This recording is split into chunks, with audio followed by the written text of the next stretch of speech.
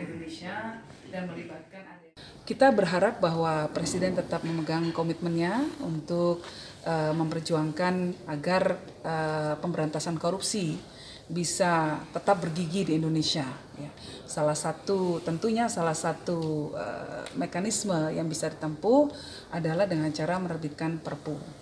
Nah, kita berharap ini mungkin Presiden bisa memanggil ahli-ahli hukum untuk bisa memberikan uh, kajian secara komprehensif, secara menyeluruh, apakah ini dimungkinkan? Dan kalau dimungkinkan maka kita memberikan dorongan besar serta uh, support kepada Presiden untuk bisa melakukan itu.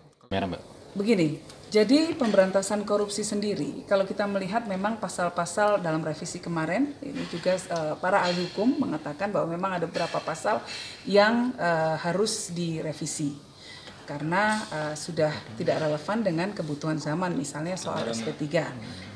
Nah, namun di sisi lain kita melihat bahwa revisi kemarin semangatnya bukan untuk memperkuat KPK, tetapi justru memperlemah KPK. Dan ini bisa dikoreksi dengan menerbitkan Perpu yang kemudian mengembalikan lagi kewenangan KPK untuk bisa melakukan uh, apa namanya upaya pemberantasan korupsi dengan